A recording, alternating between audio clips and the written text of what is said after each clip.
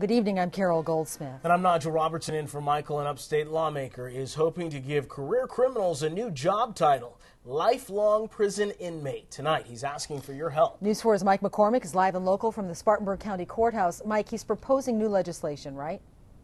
Yeah, that's right, Carol and Nigel, and it would basically strengthen a law that already exists. The senator has already filed the bill, and he will present it to his fellow lawmakers next month. This is my bill. It's less than a half a sheet of paper.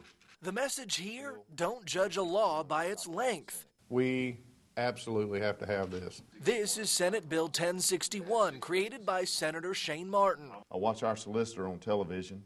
I watch our sheriff on television They're very frustrated.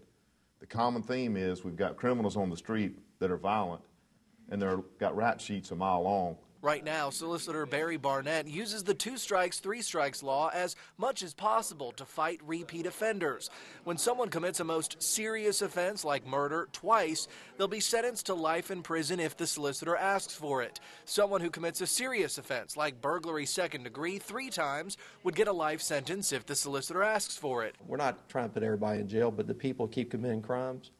They want to keep on doing it, we're going to put them in jail.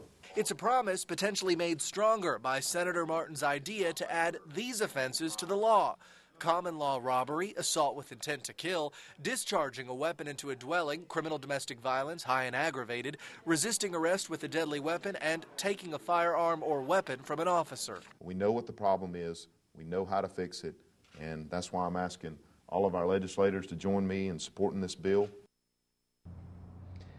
And the senator, the sheriff, and the solicitor are asking that you contact your legislator and ask them to support the bill too. Mike McCormick, WYFF News 4, live tonight in Spartanburg.